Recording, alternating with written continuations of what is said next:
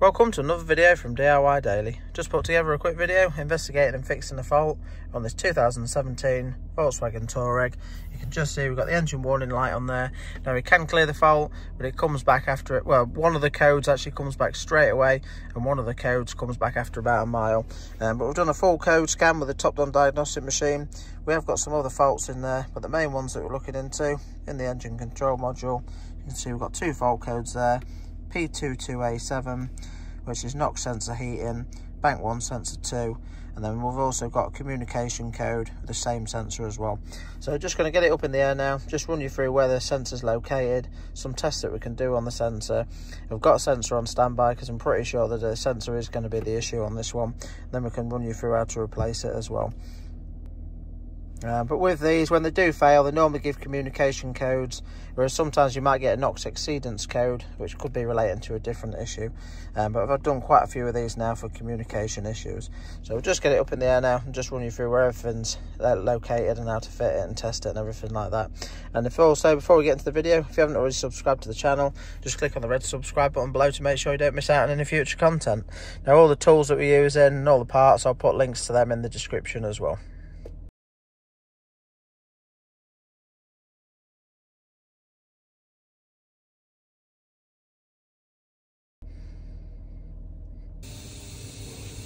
Uh, it's just coming up from underneath.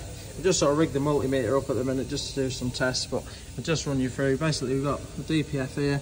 And if you just come up over the suspension arm, just see at the front, we've basically got the AdBlue injector there, which just goes in in front of the flexi part of the exhaust there.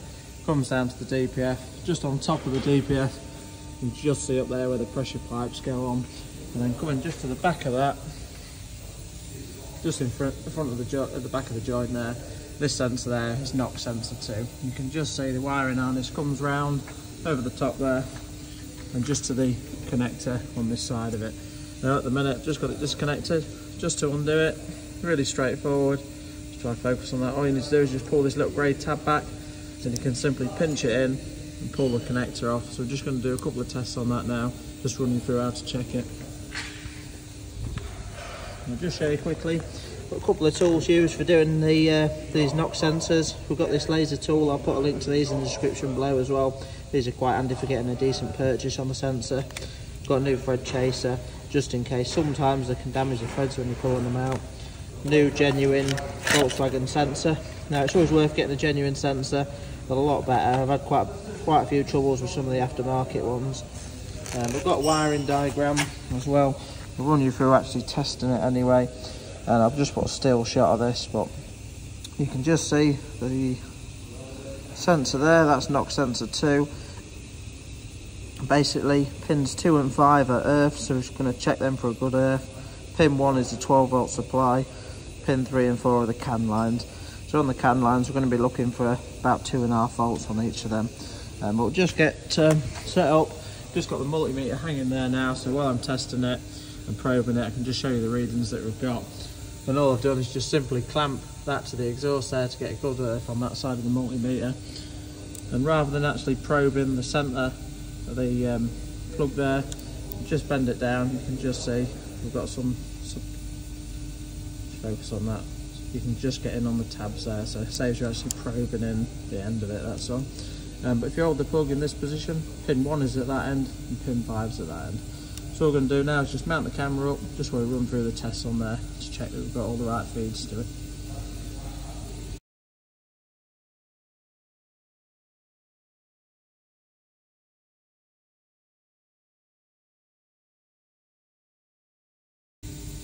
Right, so we're now ready to test it. Just to start with, we're going to test pin 1, which is the 12 volt supply. Now we have got the ignition on in the car, just on stage 2 as well at the minute. We can see pin 1 there, we've got 12 volts, just showing less than 12 volt. That's a 12 volt supply there. So we know we've got a 12 volt feed to it.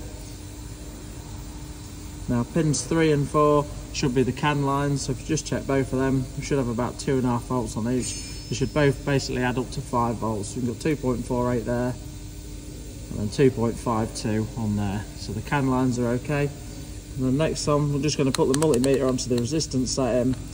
Obviously we're connected up to a good earth, so if we just check the uh, resistance on pin 2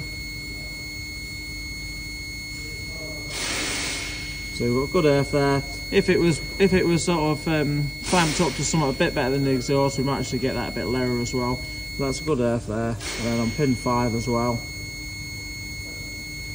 exactly the same. So we know we've got two earths, a 12 volt supply, and the CAN lines are okay.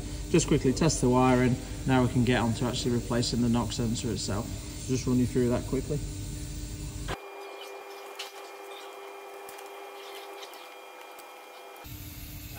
Right, so now ready to get the NOx sensor out. First thing we're going to do is just undo the actual connector piece of it. You can just see we've got one 10mm there, another 10mm there. I'm just going to get that out first, just unclip it. It's just when we come to undoing it there, we can then twist it around without it twisting the wire up. So we'll just get that off first, dangle it down and run you through getting the sensor out.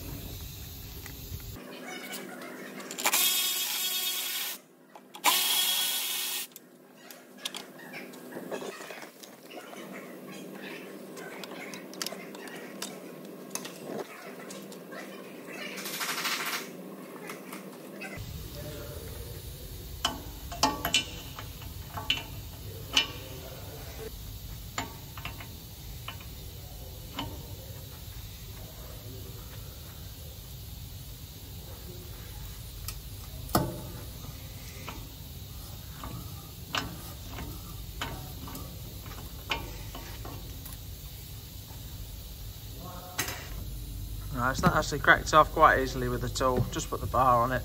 And sometimes they're really tight and as you're winding them out, they keep pulling the threads out with them. You just have to sometimes use a lot of heat on it and just keep going, but it's cracked off nicely now, so you should just be able to use a spanner just to wind it out the rest of the way.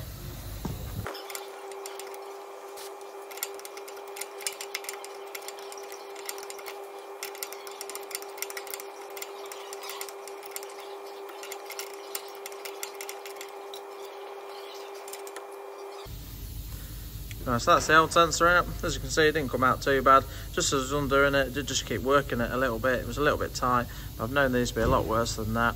Uh, just put a bit of lube on it, just a bit of WD-40 just to help it as well. Uh, but now that it's out, all we're going to do is just get the new sensor in, just get that located and nipped up, locate the wiring in, just refit the 10 mils on there, refit the connector, then we'll drop it back down, get the diagnostic machine on it, clear the fault codes out, and just see if there's any procedures that need to be done to tell it it's had a new NOx sensor with the new NOx sensor it comes with some ceramic paste on there so you don't need to worry about putting any uh, any grease or anything like that on it. So we can just simply thread that on and nip it up. It doesn't need to be mega tight just a bit more than a light nip really that's all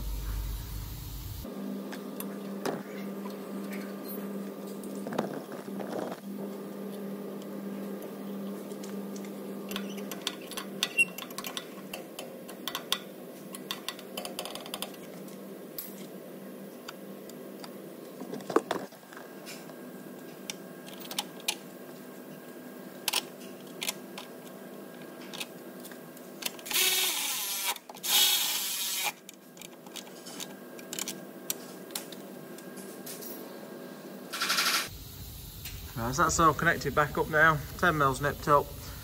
The NOx sensor's nipped up on 22 mil there. Just going to drop it back down now and just get, the, get it up back up to the diagnostic machine. Right, so back in the car now. All we're going to do to start with is just clear all these fault codes. So you've got the two in the ECU, the engine ECU there. Now there is some other fault codes on this one, as I was saying earlier on, but they're relating to the one related to the handbrake issue there. I think we've got a few others. One of them's relating to one of the cameras. Yeah. So we're just going to clear all the fault codes and then we'll run through the uh, functions and see if there's an option to tell it it's had a NOx sensor on there. Now, as I said before, this fault code, as soon as a, one of the codes wouldn't clear and one of them was coming back on within about a mile. So once I've done it and we've ran through it, we'll just give it a road test. We'll do three or four miles anyway. Um, then we'll just plug it back in, just run through the codes quickly, just to make sure that uh, it's fixed it and nothing else has come back in. But you can see to start with, it has successfully cleared all the codes, whereas before it wouldn't. So we've just go into the engine ECU there.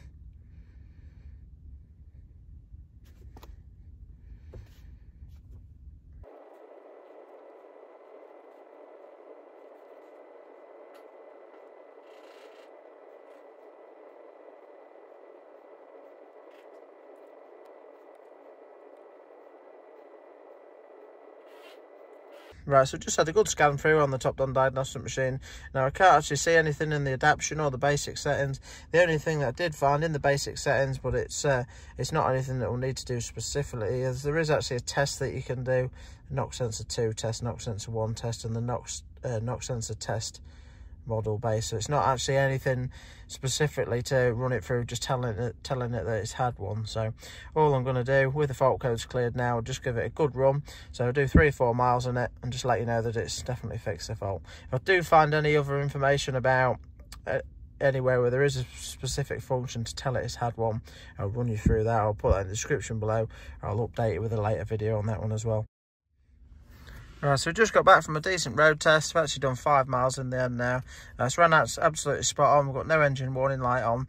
As I said before, one of these codes wouldn't clear. It was coming straight back on. So pretty much knew straight away really that it fixed it. But it's always nice to give it a good run and just check it. But I always do a full scan as well, um, just to make sure I've got no issues relating um, to tying in with a fault or anything like that. All it's come up with, you can see the ECM, engine control module is nice and clear there. We've just got a couple of faults that have come back, which is to do with that parking brake one and that camera one there. So um, we know that's definitely fixed the fault now.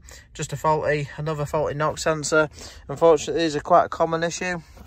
It seems to be inside the sort of ECU section of them that they break down, um, but would recommend getting a genuine one. And so, if you want to check the check the description below, I'll put links to um, the genuine item where you can get it from as well. And um, the wiring diagram, I should uh, hopefully when I'm doing the video, I've just put an overlay of that earlier on as well. But it's quite straightforward. It's always worth just testing the wiring first though just to make sure you don't want to just chuck a NOx sensor on it without checking that first. Obviously these are quite expensive so. Um, but yeah hope you like the video. Hope it helps someone in the same situation if you're struggling with that fault code. But yeah thanks for watching. Don't forget to check out some of the other content and we'll see you next time